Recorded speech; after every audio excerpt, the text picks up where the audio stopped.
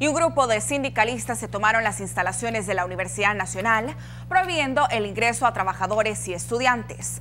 La medida es en rechazo a un presunto incumplimiento del gobierno que se comprometió a entregar un refuerzo presupuestario para mejoras salariales.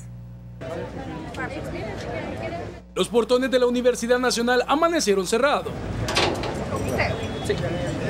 En su interior solo estaban los miembros del sindicato CETUES, mientras que fuera se quedaron estudiantes y empleados.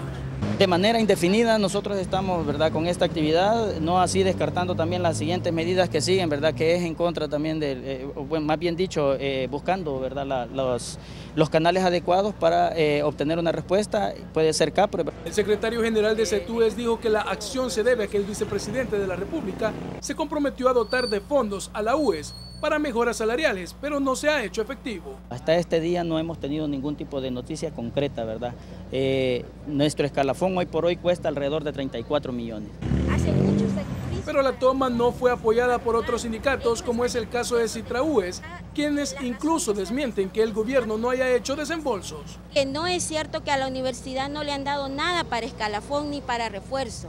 Este año, el año pasado, perdón, es el año que más, que más inyección ha tenido la universidad al presupuesto. Advirtieron que de no llegar a una solución, la toma del campus extendería las sedes de San Miguel, Santa Ana y San Vicente.